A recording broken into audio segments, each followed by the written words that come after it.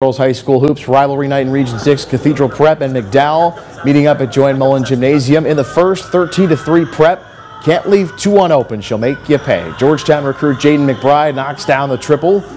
Later for the Ramblers, working around the arc. St. Bonaventure recruit Lena Walls with it. And she'll take the three from out front and hit. 19-6 for the home team. On the other end, Trojans trying to get something going here. Samantha Clement finding Mercedes Ferranti. This for the bucket underneath after a dish, one bounce and good off the window.